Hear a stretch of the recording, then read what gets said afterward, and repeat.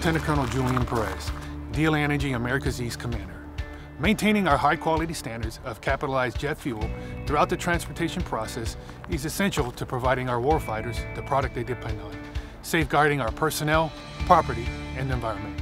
Today, my team is going to provide the inspection process for the petroleum tanker vehicles before the fuel is loaded at DLA Energy's contracted operated facilities. Your role is critical to mission success. Let's get started.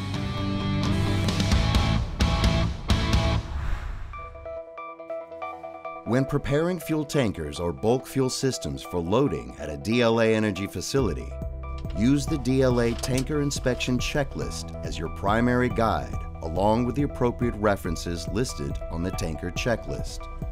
Confirm you have the proper manual by the title on the front cover of the TM, as well as at the top of each subsequent page. Wear appropriate personal protection equipment when operating fuel systems every time. There is always the potential for residual fuel splashing and spilling. Ensure that the wheels of the tanker system are chocked to prevent accidental movement or rolling of the vehicle. Then, ensure that the tanker is grounded properly to an authorized grounding point or grounding rod that is sufficiently pounded into the earth. We will be covering three types of tankers, the M967 and M969 5,000 gallon tankers, and the M1062 7,500 gallon tanker.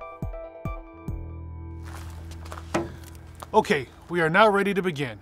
Let's cover step one, general maintenance, general condition of the vehicle, and the tanker technical manual.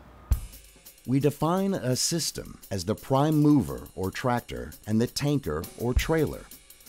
Start at the front exterior of the system. Inspect headlights for serviceability. Inspect front left and right turn signals and emergency flashers. Moving down the driver's side and continuing all the way around the system, inspect all side trailer running lights and tires for serviceability. Next, let's look at the bottom loading fitting.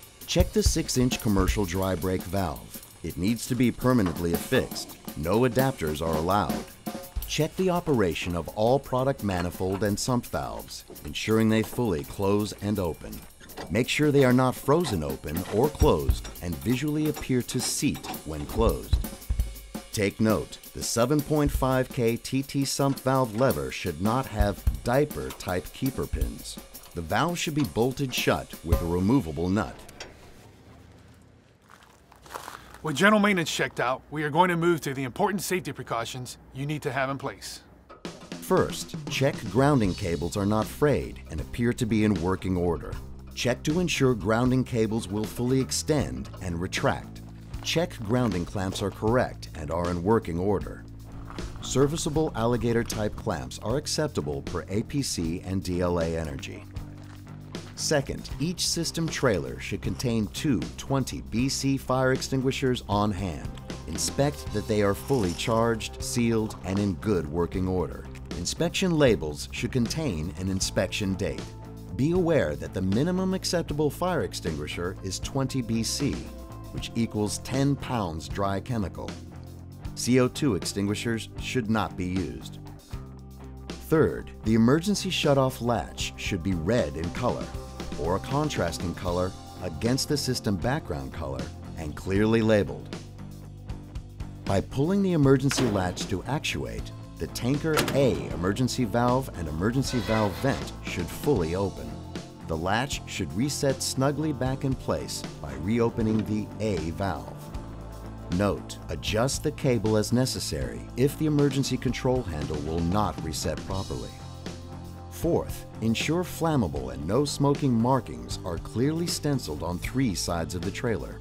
Also, ensure the system has placards on each side and each end with a proper four-digit UN identification number. Now, the cargo compartment's readiness is ultimately the key to preserving the fuel that's going to be loaded in the system. Let's review the steps to ensure fuel quality is maintained. Step 1. How is the cargo compartment cleaned? If the system was recently in service carrying jet fuel, drain the system as dry as possible. Ensure that the tanker is parked on a level surface to allow for any remaining fuel or water evacuation through the manifold and sump. Note, recent service includes previous QLLEX, another exercise within the last six months, or currently in service carrying jet fuel. If the system meets this condition, loading documents from the last load needs to be reviewed prior to loading at a DLA Energy bulk fuel facility. If cleaning was required for storage, ensure the system was cleaned using the approved cleaning methods. Note, if cleaning or conversion was required, DLA Energy will require cleaning documentation detailing how the system was cleaned. The methods include drain dry, steam cleaned, flushed or purged with CitraClean. If purged with CitraClean, ensure all residue is thoroughly flushed from the internal tank and all manifolds.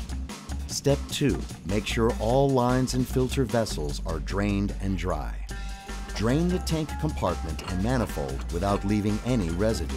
Drain any fuels from previous QLLEX or other operations prior to DLA Energy Bulk Facility inspections and or prior to Q-Day inspections. The filter separator must be drained dry.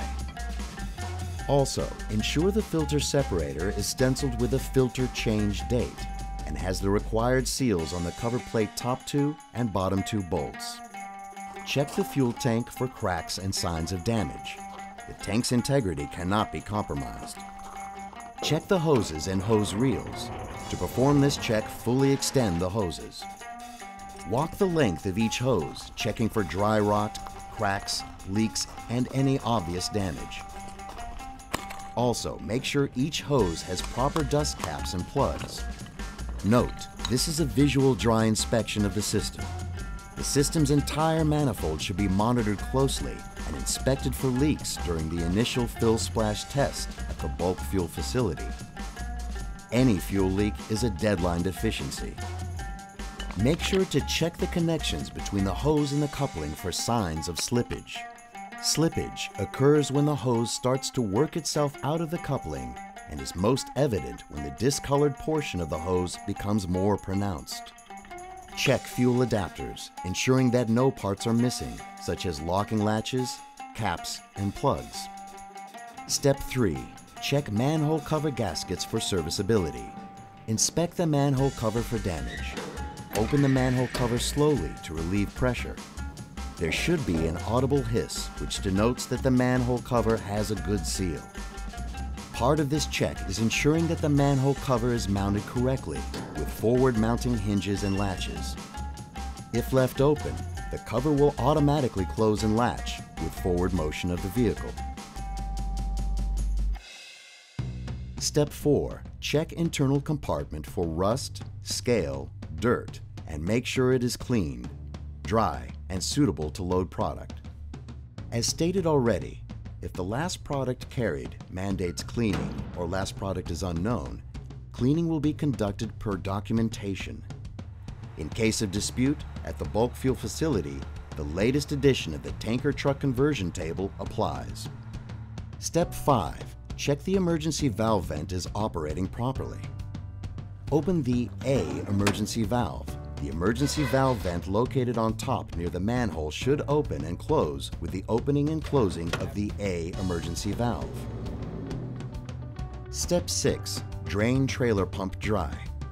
Drain the system pump dry into a vessel large enough to contain the housing contents by removing the bottom drain plug. Ensure the drain plug is replaced after all of the product is drained from the system's pump housing. Inspect all pump system wiring to ensure the wiring is properly insulated. Also, ensure the batteries are covered. Step 7. Inspect sump drain to ensure it's dry. Inspect the sump drain to ensure it is drained completely and free of all water or remaining fuel. After successful completion of the bulk fuel system inspection process, you're now ready for DLA Energy's preloading or quality day inspection. All the steps are necessary and required to ensure our ultimate customer, the warfighter, can depend on their equipment at the highest level. Thank you for your time. Warfighter first.